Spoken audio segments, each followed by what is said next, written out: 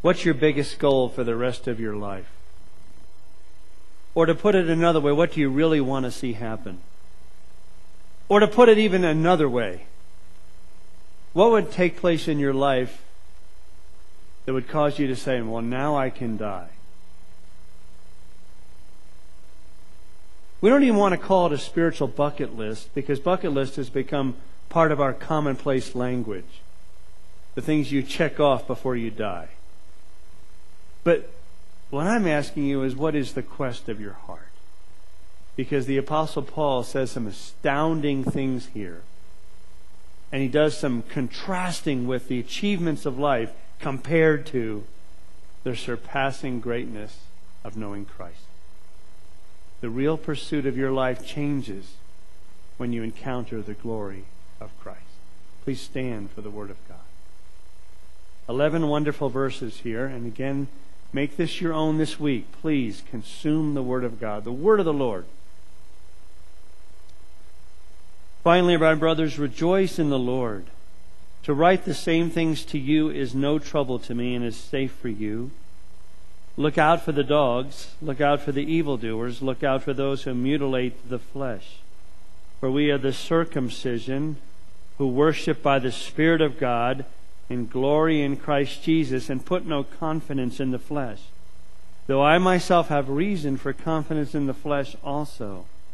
If anyone else thinks he has reason for confidence in the flesh, I have more.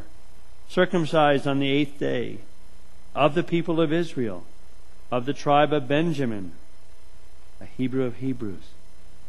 As to the law, a Pharisee. As to zeal, a persecutor of the church. As to righteousness under the law, blameless. But whatever gain I had, I counted as loss for the sake of Christ. Indeed, I count everything as loss because of the, because of the surpassing worth of knowing Christ Jesus my Lord. For his sake I have suffered the loss of all things, and I count them as rubbish, in order that I may gain Christ and be found in him, not having a righteousness of my own that comes from the law, but that which comes through faith in Christ, the resurrection from God that depends on faith, that I may know him and the power of his resurrection, and may share his sufferings becoming like him in his death, that by any means possible that I may attain the resurrection from the dead. The word of the Lord, thanks be to God. Please be seated.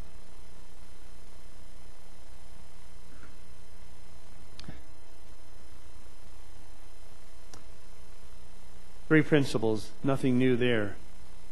But please hear this God's word is always new and fresh.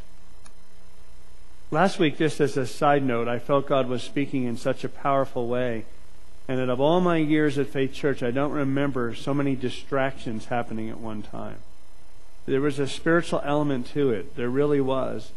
And including me trying to think in my car, it wasn't my car alarm going off, but somebody's alarm. So, I say to you, as God speaks and reveals His glory, mute your cell phones, deal with your car alarms, and let's not allow anything to hinder the Word of God. Amen?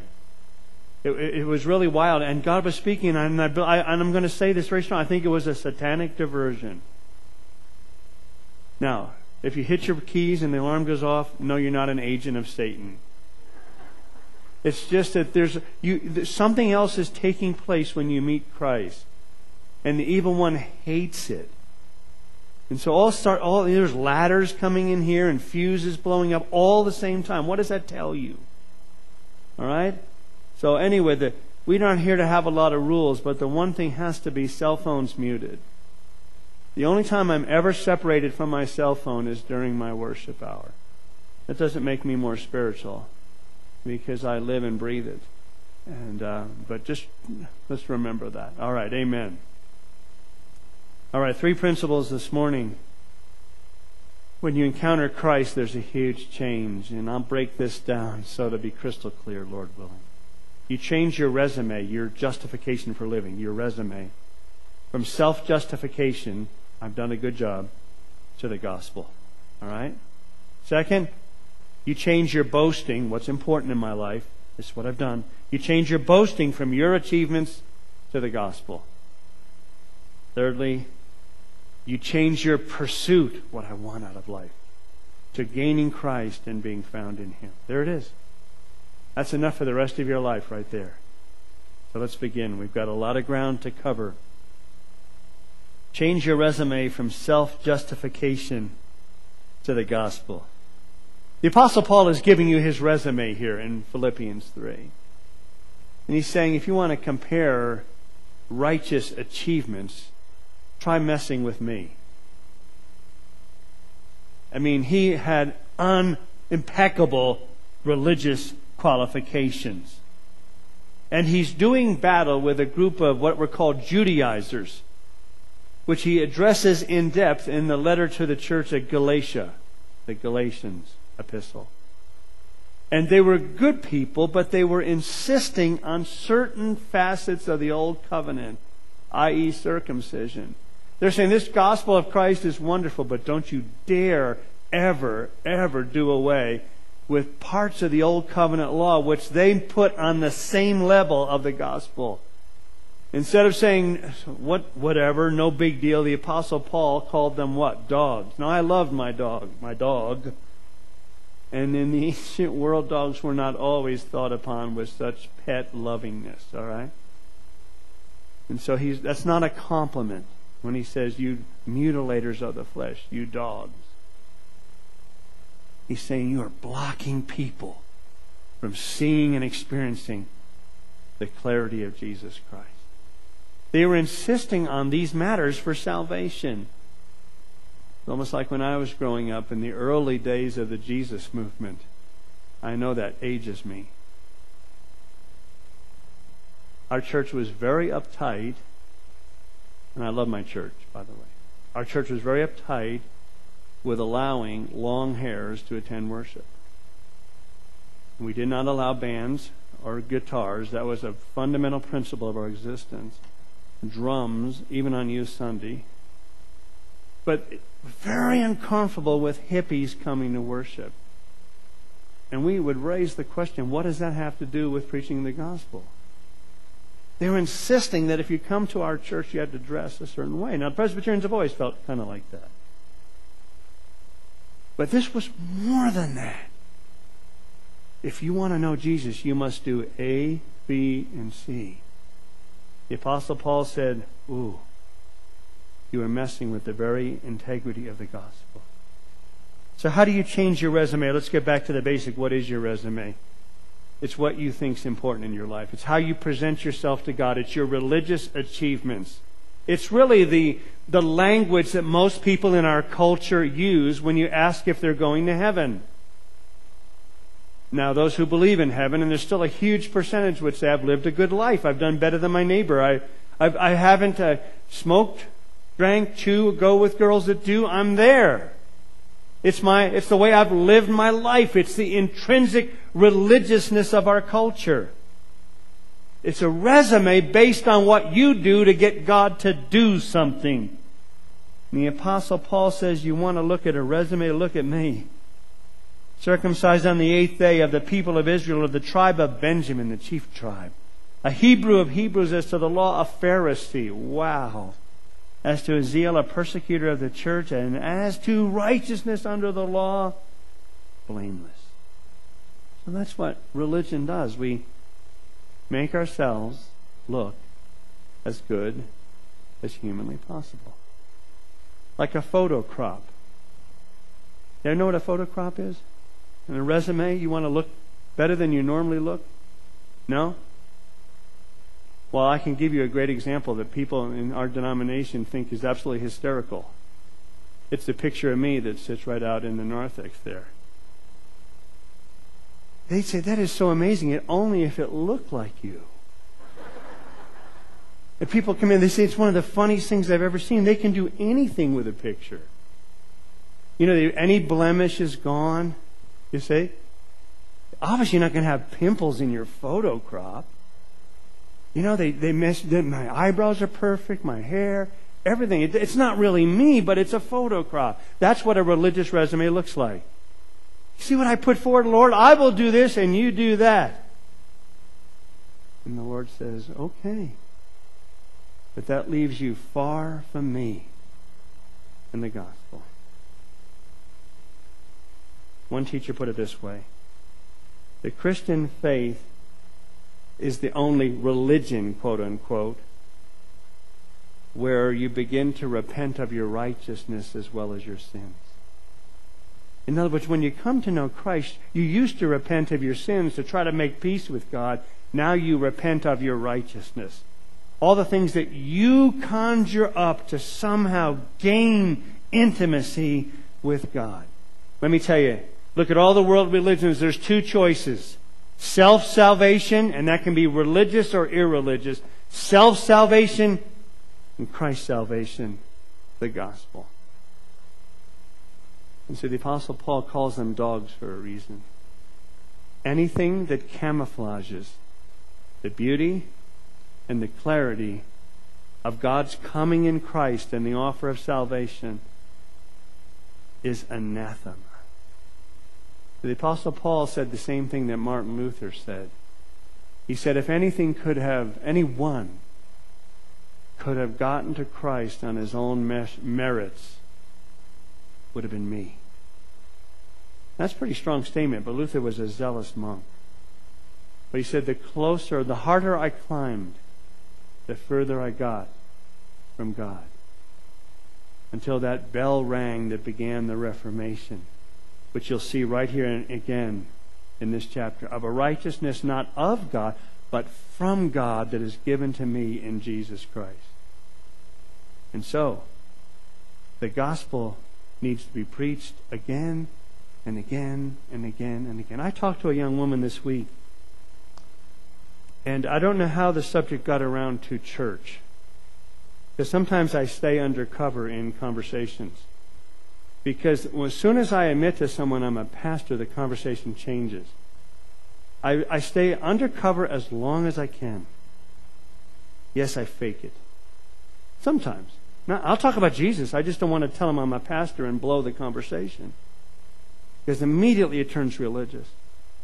But somehow I must have slipped. And I said something about working on a church staff, and she froze.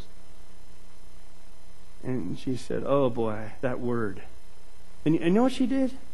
And she, that's the default mechanism of she says, Oh, I just feel so horrible now. She said, I haven't been giving my tithe. I said, I didn't ask you about a tithe. I just said I worked on a church staff. I said, I haven't been worshiping. I just, oh, this long litany of religious woes.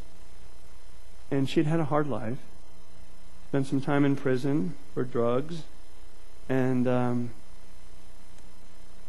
so I kind of I offered just an encouragement, and I said, uh, "Well, don't you?" And this is not a technical theological thing. I said, "Don't ever let go of God, as if you can." But it's a figure of speech. Don't ever ever give up on God or something. And she said, "Oh no, I could never do that. He's all. He's my whole life." That was beautiful, by the way. He's my life. But then she said something very interesting that reminds me of religious people.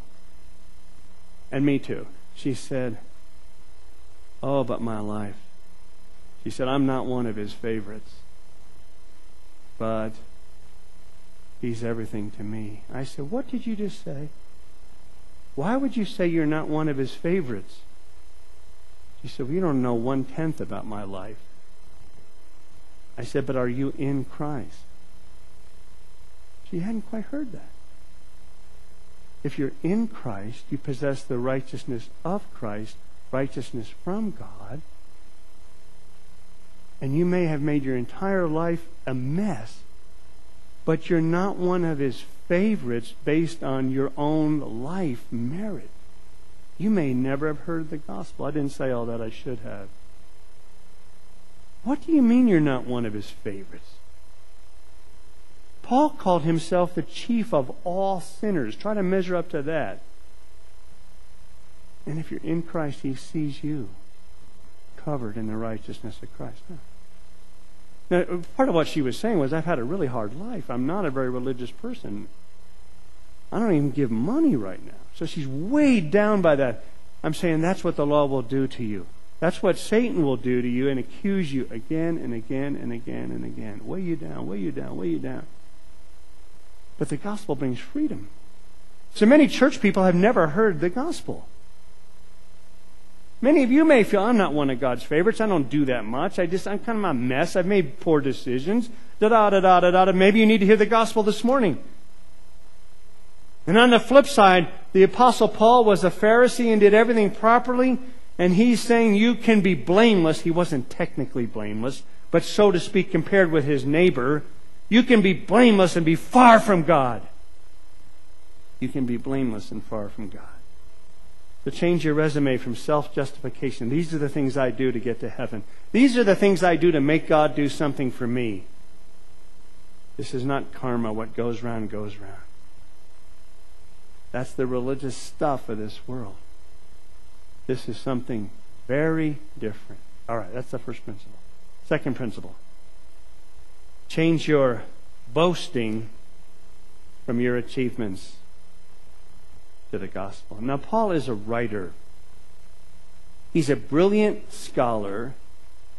And it has been said that even if he had not had the dramatic conversion on the road to Damascus, as a student of the teacher Gamaliel and others, he would have been, he would have been renowned as a scholar. So Paul is very particular with words. He's a writer. the, the, the epistle to the Romans is considered one of the greatest masterpieces ever written. Okay? And so when he uses language that is so outrageous as he does here in these following verses, it is something that you need to behold. And I'm picking up at, with verse 7 here, and I'm kind of 7, 8, and 9 are all together. They're going to overlap in the second and third principle. But this is a man who had achieved great things. And by the way, the Pharisees took pride in persecuting the church because they felt the church blasphemed the holiness of God by playing games with Jesus as the Son of God. Until what? Jesus revealed himself on the road supernaturally to the Apostle Paul. But here's where, here's where he talks about boasting.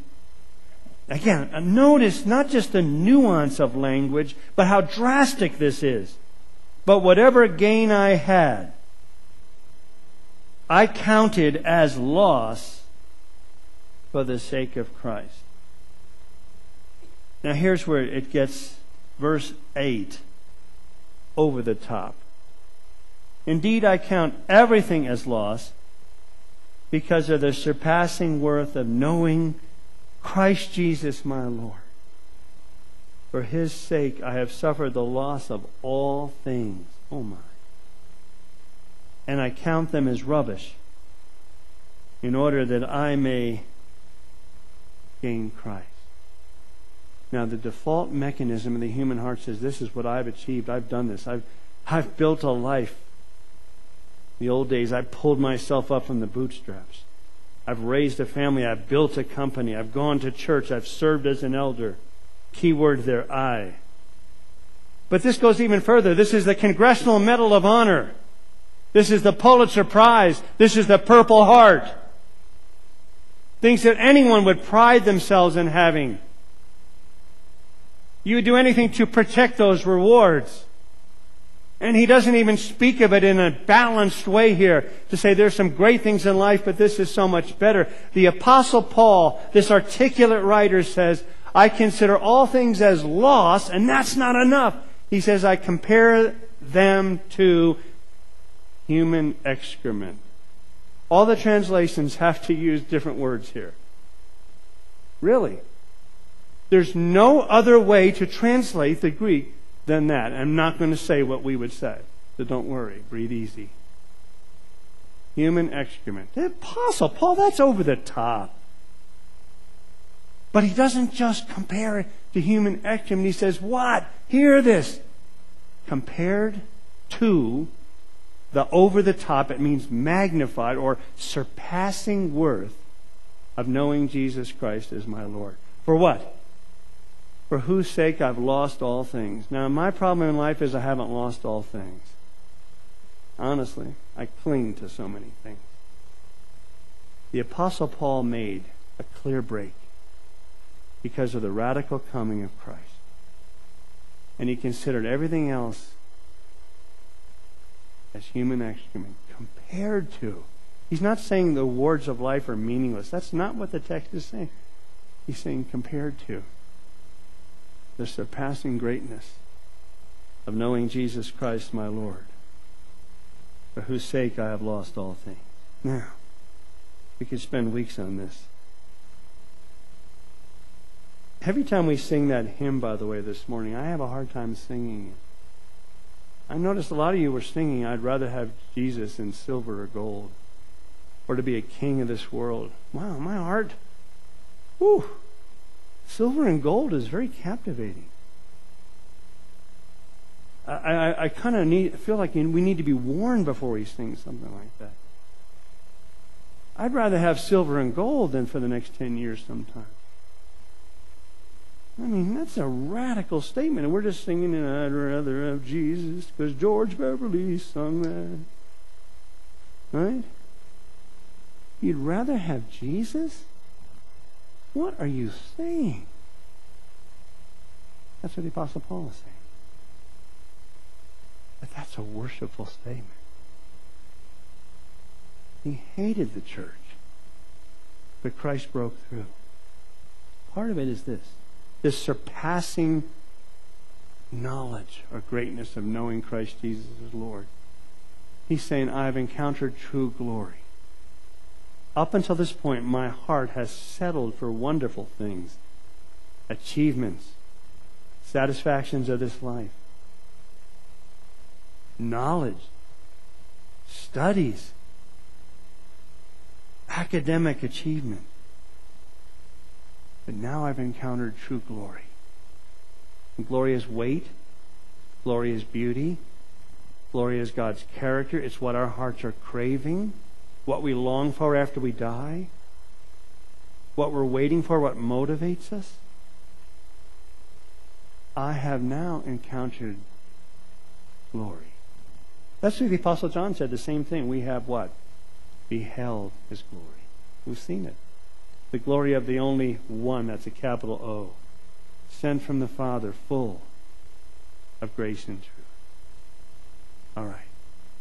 You want to know ecstasy? He's saying you can know that. Now, the question, well, was you say, how can I know Jesus that way in this life? I know that, I, all right, I'll buy into the fact that I can know him after I die like that. But there's something in this life which makes it very difficult, and you are so right, because our hearts are so captivated by anything other than the beauty of Christ. But that's why we worship. That's why we gather. That's why we pray. That's why we wait for a breakthrough. That's why we never, ever, ever give up on the Word. That's why we continue to seek true glory in Christ. And we begin to put our lives in perspective. We don't say, darn it, I graduated from college. What a terrible thing. No, no, no, no, no. But we begin to put it all into perspective. Some of you have had great success in business. Some of you have lost a lot of money. Ultimately, it doesn't matter if you know Christ. Do you see that? And I could say to you, sometimes your loss is your greatest gain. I say tongue in cheek, without sarcasm. I feel sorry for people who have never lost large amounts of money. You say, why would you say that? Because there's something about trusting Christ through the loss of money. Yes, I have known that that draws you to a deeper walk with Christ. I feel sorry for people who have never known real failure because that failure can lead you to an open space in your walk with Christ. And that failure can force you out of your own boasting and religiosity so that your own justification, I've gone to church all my life, I'm doing this, I'm doing that, now becomes it doesn't matter what I've done. It matters what He's done. And it matters that I've opened my life to the glory of His coming. And yes, I declare bankruptcy. Spiritual bankruptcy. And when I declare bankruptcy, my debt is paid. And yes, in this case, when I declare bankruptcy, not only is my debt paid, but His righteousness, which I don't deserve, is credited to my account. Do you see that? Oh, and what do I boast in? Great been an honor to be here for 20 years. I do boast about that sometimes. I say, you pastors jump around all the time. Ha ha ha, I've been here 20 years. Not change that. That's by the grace of God, by the grace of God. You see, I boast in the mercy, the provision, the glory of God, the salvation He's given. That's what I boast in. Some of you are successful, some of you are not. Who cares? It's the person who understands the gospel, who knows glory. Boast in the achievements of Christ, for whose sake I have lost all things. All right. Now you spend the rest of the week chewing on this, chewing on it like a dog chews on a bone. a lot about dogs in this sermon.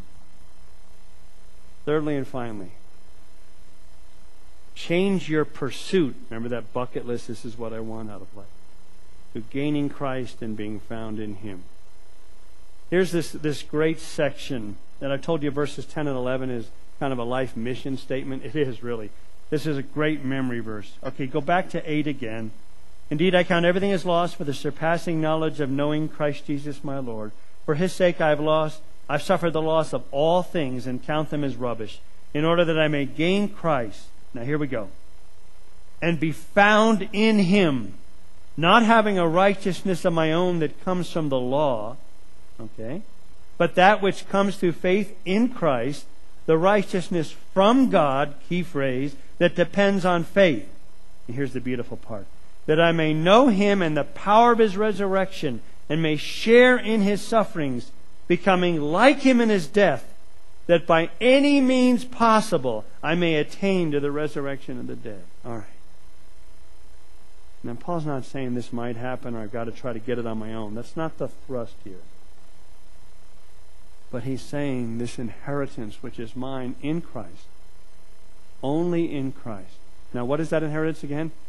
everything that Christ has obtained in this great transfer, all that he receives from the Father, all the glory that is bestowed upon him, all of his victory, all of his reigning, ultimately is gifted, granted, credited to those who are in him. For your life is hidden with Christ in God. And when Christ appears, you will appear with Him. How? In glory. So my salvation is that I'm in Him, not in myself. I'm a mess on my own. One teacher put it, suppose you had a terrible Tuesday. You can sin on any day, not just Tuesdays. Suppose you really messed up this past Tuesday. You say, what do I do? You, you, you repent and you, your heart is broken because you've damaged your father's heart. You've damaged him, but you haven't, haven't damaged your salvation. Why? Because my standing before God last terrible Tuesday was not based on my righteousness. I could never stand before a holy God in my righteousness. My standing is on the basis of Christ's righteousness. And my position, my status legally and spiritually is what? In Him. So I go back to my Father and say, I confess my standing in you. And this week, Tuesday's going to be a little better. And Wednesday, too. You can throw in Thursday if you want. If you get that far, huh?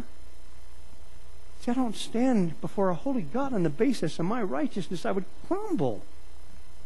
Absolutely. I can't compare to the Apostle Paul. Tribe of Benjamin. Huh? Pharisee, those guys were tough. And boy, did Jesus have some battles with them. Now, I, I want you to just think about something here. How do I gain Christ? Here's the question you, I know you're asking. How do I gain what is already a gift? Don't gain it by religious striving you gain it by unwrapping this gift every day of your life before you enter eternity. You gain it by appropriating it and making it your own. You drink from this fountain of grace. You admit that your heart is constantly seeking false idols. And you confess your new status in Him you gain Christ by knowing Him and experiencing Him and loving Him and being enthralled in Him and letting Him dry your tears. letting Him come to you in your deepest shame, you gain the grace of God by living for Him now and allowing Him to explode in your heart. Do you see that? And part of what the Apostle Paul says, what do you want to do with the rest of your life? Other than take a cruise around the world and make money and make sure you have enough and hopefully keep the grandkids out of trouble. Those are nice things. Make sure that you don't have too many weeds in the garden, and then eventually you live in a place that you don't have to do your own gardening. Yep. Have some money to leave to the kids. Maybe. Is that your life goal? Yep. What else is there? The Apostle Paul says, My passion is I want to know Christ and the power of his resurrection in me. The fellowship of sharing in his suffering.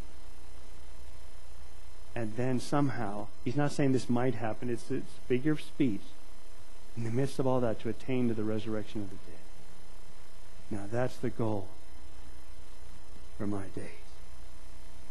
Now I know you, you probably want me to skip over this one part. It's not that easy. Verse 10 begins so well. I, mean, I want to know Christ and the power of his resurrection. And then it says, in sharing in his sufferings, becoming like him in his death. What in the world? What does that mean? I know I've been asking it too. Sharing in his sufferings is the brokenness of this world, and it is whatever brokenness we are called to face, whether it's our own battle with cancer or if it's our deep commitment and empathy to the absolute horrid conditions of this world, the brokenness that Christ comes to restore a broken world. We share in his suffering. Now, the harder part is what? Becoming like him in his death. What does that mean? Christ said what? Not my will, but thy will be done. Take this cup away from me, but I will walk the Via Dolorosa in faithfulness. Now, here's what he's saying. Some of you are walking a very challenging road right now. It's a difficult road. It's a road that you wish would go away. And Christ was relentless as he faced the cross. He set his heart and his face toward Jerusalem. And so becoming like him in his death does not mean that we become a personal savior for ourselves on the cross. It just means that in the darkness, in the valley, as we walk through the valley of the shadow of death, we walk another step. Some of you have need the grace of God just to take one more step at times. One more step, one more step, one more step. I, have been telling you about my friend Gordon and what that, the impact it's been on my life, and I'll probably be talking about him for the next year. So that's how I'm learning of suffering and death just like I did my mother. So hang in there. The news gets worse and worse and worse, and his cancer is stage four. The doctor calls it dreadful. It's everywhere. It's relentless. It's on the march. It's maybe 12 months. And as I hear my dear friend on the phone, and I can't even speak, I'm so overwhelmed by this potential loss. And he talks about Christ in glory and praying for his family and praying for his family and praying for his family. And he says, I'm going to hang in there and walk another step. I said, Lord, why? This is horrible. And he says, hang on another step. Become like him in his death. That Jesus said, all right. This, I, I don't know what it would be like to die of brain tumor over a year. I'm going to pray that he be healed, by the way. Uh, but it's such a relentless cancer that God may have other plans. If you'd join me in that, it would mean a great deal. But Lord, I'm going to walk this hard road filled with the presence of Christ. Do you see that? And then somehow, by the glory of God, when it all falls apart and my brain is eroded and I can't speak and I'm literally disintegrated, I will attain to the resurrection of the dead. Now that's enough to make a Presbyterian run around the block five times. So move ahead. And by the way, when you walk the Via Dolorosa, the valley, the hard road, walk it with someone else whose road is very dark. Take somebody by the hand because your life is crystal clear. You're no longer willing just to put in time until we have a memorial service for you. You say, I want to know Christ and be found where? In Him. And His inheritance will be mine. And please hear this final thought. His inheritance will be mine. And that is far better than anything else this world could ever offer. Then I can sing with George Beverly. I'd rather have Jesus than silver or gold. Let's pray. Oh, Lord God, uh, your word is powerful, it is captivating, it is, it is moving, it is surgery. It takes our idolatrous hearts that are craving life and caught up in ourselves and drowning once again. And your strong, certain hand lifts us up and gives us the gospel once more. Father, our resumes are all about us and what we've done. But this morning in Christ, we change that to the gospel. And in doing so, we submit ourselves to you. And we declare spiritual bankruptcy. We transfer all the filth of our lives to the cross of Christ. And in this double transfer, we receive back the very finished work of Christ's righteousness and the beauty of Christ. We change our boasting on all the things we've done from our achievements to the gospel. We consider it as dung, as human excrement, compared to, compared to the surpassing greatness of knowing Jesus Christ as our Lord. Then we change our bucket list, our pursuits, our, our passion to gaining Christ and being found in Him. And if you've never ever experienced salvation in Christ, the Apostle Paul in Philippians 3 is laying out the beauty of the gospel. For a man who thought he had everything and realized he had nothing apart from Christ. So if you sense that supernatural tug on your heart, which, by the way, takes place in every believer's life as you see Christ in the gospel. But those of you that are outside of Christ, you're being brought in right now. And the Holy Spirit is regenerating your heart. And you say, What do I do? You pray this prayer. It doesn't have to be perfect words, but it has to be a heartfelt prayer. Lord Jesus, I need you. Lord, I need you. If the Apostle Paul needed salvation, I can't even imagine how much I do. But I confess my spiritual bankruptcy. I have nothing to bring to this.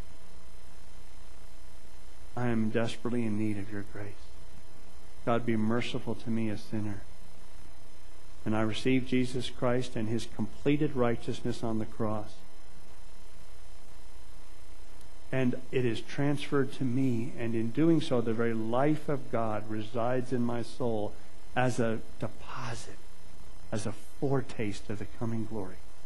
I invite you, Father, Son, Holy Spirit, by the power of the Spirit, to live in my soul. If you prayed that prayer, you have come from death to life, and salvation is yours. Please let someone know. And Father, for those of us who name the name of Christ, thank you once again for raising us from the dead this morning. In Jesus' name, amen and amen. Amen.